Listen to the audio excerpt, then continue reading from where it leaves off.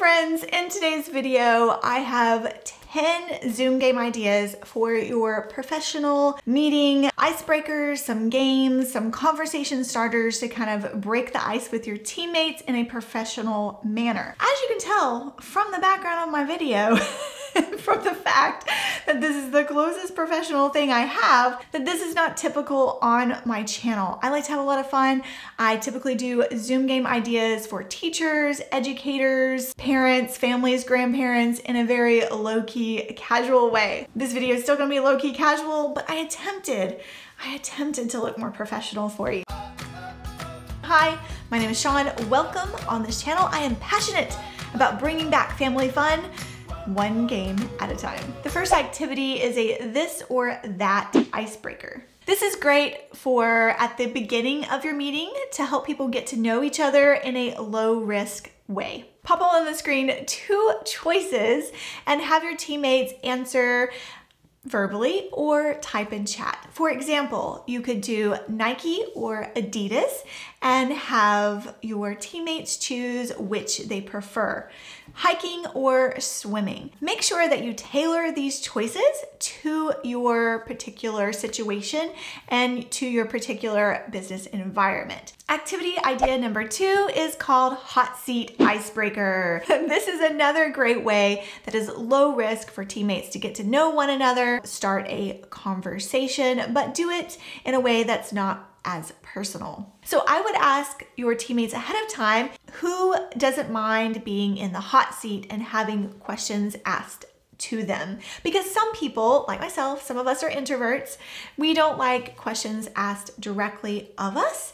And so we prefer to stay in the background. So those people might be great at asking questions. Whereas people who are a little more extroverted, who don't mind sharing a little bit more about themselves, make sure you choose those people to be the ones in the hot seat. Before your meeting, have teammates ask questions that are low risk. For example, what is your favorite type of sandwich? What is your favorite clothing brand? What is your favorite way to spend time with your grandkids? Or you could tailor these questions to be more specific to your business. For example, what is your favorite social activity that we do as a company? What is your favorite beverage that we offer in our food service department? So you could tailor these hot seat questions in a manner that would reflect your business values. Then when it's time to start your activity, have the hot seat person or persons come on the screen and have their teammates ask them these low risk questions to get to know them better and so that you can get to know what things people really enjoy about your business atmosphere and environment. Activity number three is called finish the sentence. This could be an activity where you break out into smaller groups and have those groups finish the sentence and then discuss their answer in the group. Again, this can be tailored to your specific business atmosphere and culture. So I'm just gonna give you a few examples. The best thing about my job that I like is within those small groups, they would all answer that question and take turns talking about their response. Another example could be one thing I missed about my job during the pandemic is, and then they could discuss that in their small groups as well. Activity number four is called Where Are You? Before your meeting, ask all of your teammates to pick their favorite vacation spot, or you could tailor this to your specific business and pick a spot that like a building in your area or a town that your business is run in, a location of one of your offices, have them pick some kind of a location that they will upload into their virtual background on Zoom. Then when it's time to start the activity, everyone will change their background to reflect the location of their choosing, and then you will take turns and teammates will guess where the location is that's in everyone's background. The next activity is called zoomed in.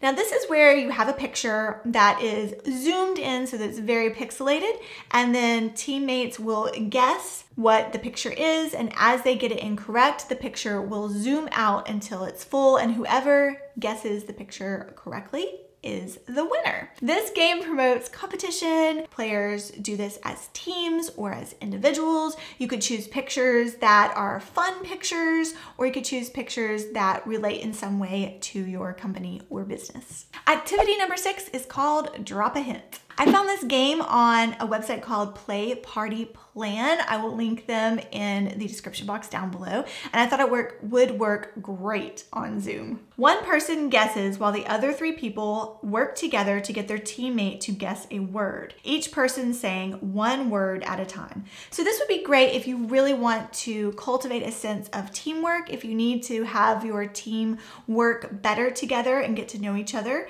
then break them out into breakout rooms and play this game. Divide players into teams of three or four. While one team plays, the other teams could watch or just remain in their breakout groups. Give a word like castle to all the players on the team except one. The guesser then has to guess the object from just the words provided by the other team members. The other team members can only give one word at a time to the guesser. You can play as many rounds as you want. And again, your word could relate back to your business or you could choose just a word for fun. I'll put the full rules for playing this activity. I will post them in the description box down below.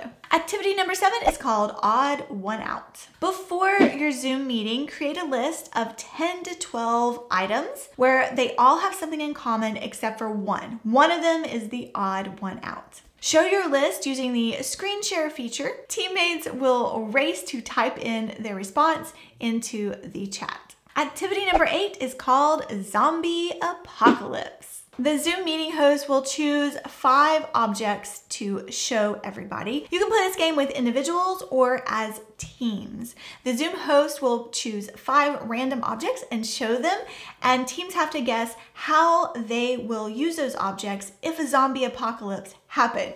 Now, you could, of course, the zombie apocalypse is a fun way that would adapt to all situations, but you could take this game and adapt it to your specific business situation. You could choose five items that relate to a problem that you are currently having in your business and ask people to solve that problem using those five objects. Activity number nine is a desk photo contest. Remember when we all used to get together and and especially if you work in like a cubicle or you all have offices and everybody like to decorate their office and a lot of times virtually we don't get to show off our office and our desk.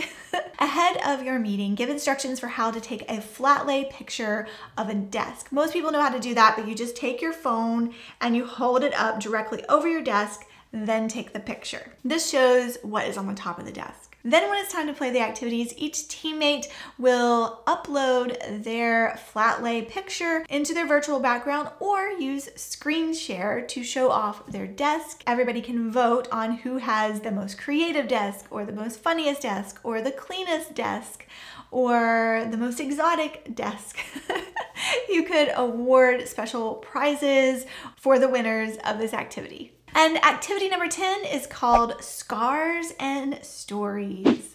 This activity is best played with those people who don't mind talking about a little scar or sharing per something personal about them. If your teammates do not enjoy sharing personal stories about their life, that this this activity might not be for you. This activity would be best played with a group that is already a tight knit group that is very casual in their business atmosphere. Each player takes a turn showing off a scar that they have and telling a story about it. For example, I have a scar on my arm right here.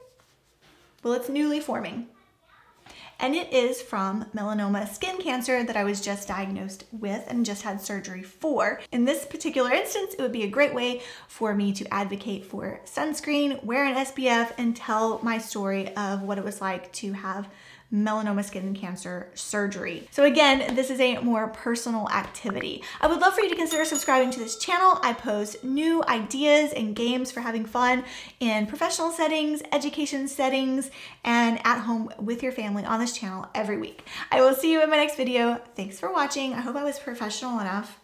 Usually there's a lot more laughter and sassiness in my videos. I will see you in my next one. Thanks for watching. Bye.